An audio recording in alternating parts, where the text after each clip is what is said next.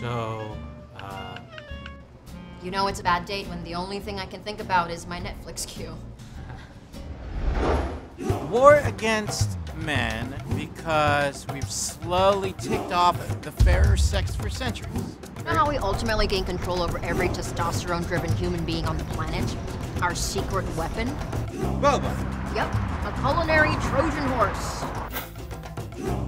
It's like you crawled into my brain and found my craving for tapioca balls in my mouth. Who doesn't want that?